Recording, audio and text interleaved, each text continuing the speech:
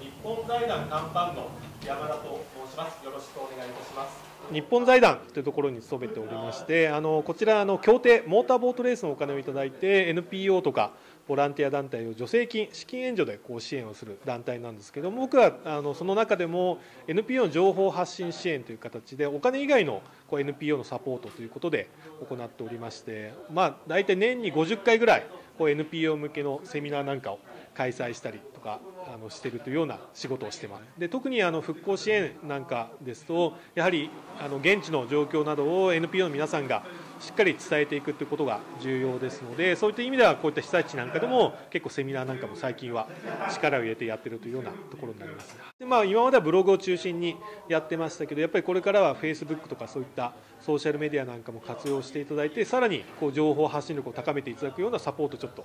うちでもしようというのでこういったセミナー開催したりとかっていうような状況ですね。こう情報を見てくれた人がまたこう被災地の復興支援やろうというような流れを作っていきたいという部分がありますのでそういった循環をこうなんですかね活動応援サイクルって私でも言ってますけどそういったものをこう生み出すような取り組みなんかも積極的に今やろうとしております。そうですね。活動されている方石巻で実際に活動されている方が多いと思うんですけど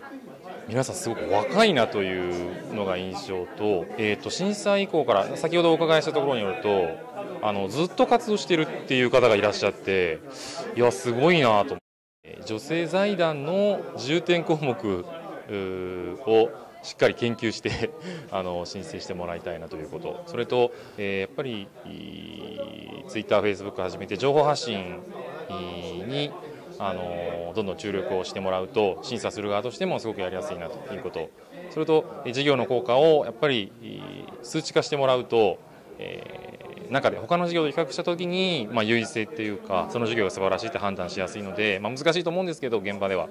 あのそういうところに努力してもらうといいかなと。そうですね。あのぜひ看板なんかを活用していただいている、まあ、他のいろんなツールインターネットの本当無料で使えるツールいろいろありますのでそういったものを積極的に活用していただいてもっと NPO のこの活動をより多くの人に